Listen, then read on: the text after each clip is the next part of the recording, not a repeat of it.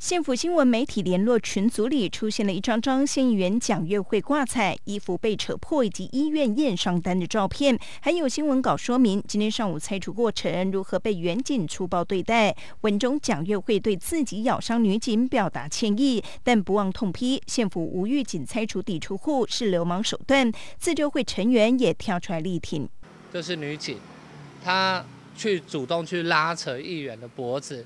去勾他勒勒他的脖子，那议员为了要自卫，所以他用嘴巴去咬了远景的手。不过县府有不同说法，秀出警方的搜证影片，被咬伤的女警说明冲突经过。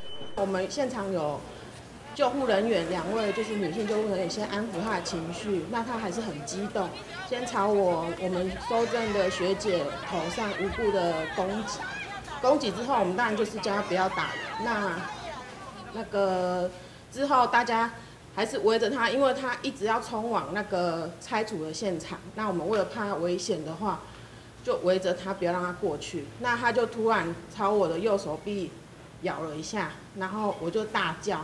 他很自然的就，当然很痛啊，因为我的咬痕还在，然后就把它抽离，就是然后之后就。不是去把他的那个衣服扯破的。县府发言人黄建佳说：“蒋月会断章取义，企图用错误讯息误导社会大众。对于发生这样的冲突，表达遗憾，并且谴责暴力。